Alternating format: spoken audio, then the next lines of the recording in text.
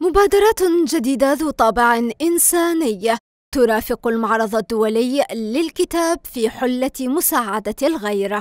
أين كان للمكفوفين حظ مع شعار؟ بالقلب فقط نرى جيدا فكل شيء أساسي هو خفي على العيون مع دار الإبصار بالنظر.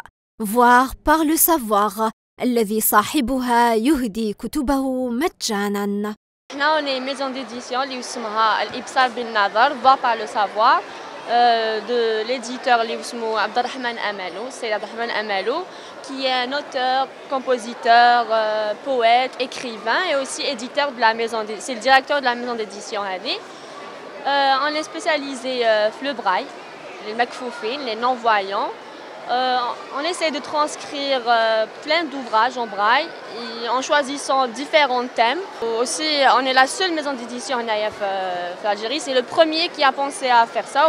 جناح الأطفال بالصالون تميز بدفعة إنسانية تحاول ملامسة روح البراءة بتبرعات للأطفال المصابين بالسرطان ومن ذوي الاحتياجات الخاصة بأموال وألعاب وبذلك يكون الكتاب مرافقا وصديقا يوفي حق التربية في طفولتنا وإلى أطفالنا.